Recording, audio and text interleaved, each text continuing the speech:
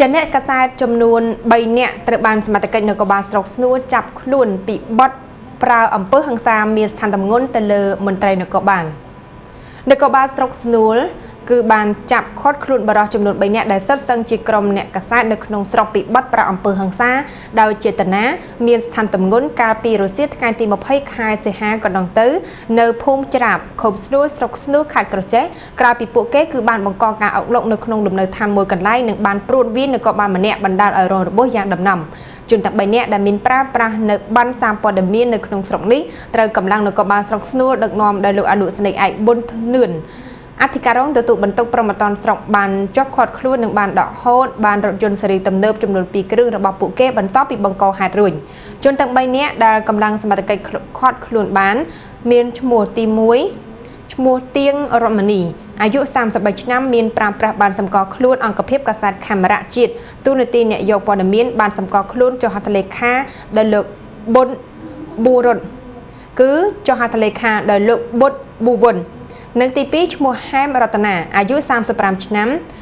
និងជនទី3ឈ្មោះឈឹមស៊ីណូតអាយុ23ឆ្នាំតាំងពីអ្នកប្រើប្រាស់បានសម្គាល់ខ្លួនជាសារព័ត៌មាននិងគេហទំព័របាយ័នមានទូនាទីអ្នកយកព័ត៌មានគ្រប់បណ្ដាខេត្តក្រុងដូចគ្នាហើយនៅលើការសម្គាល់ខ្លួននេះគេបានរកឃើញមានចុះហត្ថលេខាដែលលោកសៀងប៊ុនសុងទូនាទីយ៉ាងវាងកាសាតបាយ័នជនទាំង3នាក់មានទីដំណើរភូមិកាញ់ប្រាសាទ ឃុំសម្បូរស្រុកសម្បូរខេត្តក្រចេះប្រភពព័ត៌មានពីមូលដ្ឋានបានឲ្យដឹងថាកាលពីរសៀលថ្ងៃកាត់ហេតុជនទាំង3នាក់បានបើកបររថយន្ត2គ្រឿង Mack Highlander និង Mack Camry Berlin បានធ្វើសកម្មភាពដេញតាមប្រមាញ់លើរថយន្តមួយគ្រឿងទៀតនៅលើដងផ្លូវជាតិស្នួលវៀតណាមនៅក្នុងសកម្មភាពនៃការដេញរថយន្តរបស់ក្រុមជនទាំងនេះបានបើកវ៉ាបណ្ដាលឲ្យរថយន្តបាឡានគ្មានស្លាកលេខមួយគ្រឿងទៀត បានបើកគៀទៅលើរថយន្តម៉ាកកាមេរីបាឡានរបស់ក្រុមអ្នកកាន់កាសែតនិងបានបើកប្រដេញគ្នាពេញផ្លូវជាតិធ្វើឲ្យអ្នកដំណើរនិងប្រជាពលរដ្ឋនៅលើដងផ្លូវផ្អើលឈរមើលដោយទីលានប្រណាំងរថយន្តប្រពន្ធព័ត៌មានបានឲ្យដឹងទៀតថាដោយសារតែការដេញប្រមាញ់គ្នាទៅវិញទៅមកជាច្រើនត្រឡប់មានរថយន្តមួយទៀត ក៏បានបើកចូលទៅក្នុងផ្ទះរបស់បរិសម្នាក់ឈ្មោះកុងក្រឹងមានទីតាំងនៅភូមិច្រាបឃុំស្នួលស្រុកស្នួលរីឯរថយន្តរបស់ក្រុមអ្នកកាសែតទាំងពីរគ្រឿងនេះបានបើកចូលទៅតាមហើយពួកគេក៏បានដើរសម្ដៅទៅរកបរោះជាម្ចាស់រថយន្តមួយនោះកើតមានការឆ្លោះប្រកែកស្របពេលជាមួយគ្នានោះបរោះរងគ្រោះឈ្មោះអៀមសុលឹម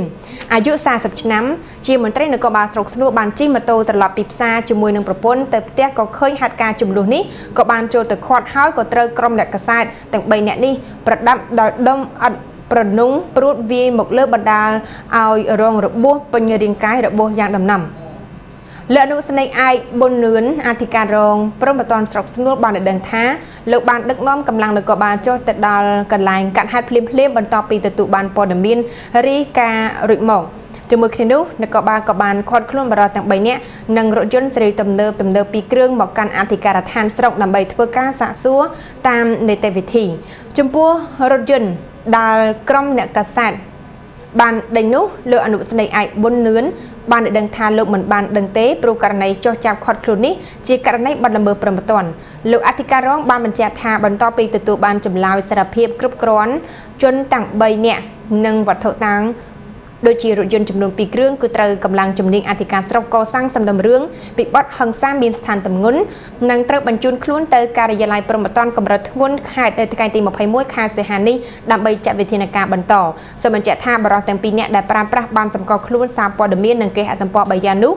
គេពួកគេគឺសិតតែជាអ្នកកាសែតបាយ័នមិនមែនអ្នកសារព័ត៌មានទូរទស្សន៍បាយ័នទេដែលកន្លងមកគឺមានបងប្អូនប្រជាពលរដ្ឋជាច្រើនតែងតែយល់ច្រឡំថាជាអ្នកសារព័ត៌មានទូរទស្សន៍បាយ័នដែលពួកគេតែងតែធ្វើសកម្មភាពដេញស្ទាក់ចាប់រថយន្តដឹកឈើតុកទូក្រែទ្វារបង្អួចជន្លង់ម្រេចនិងចម្រិតទាលុយ។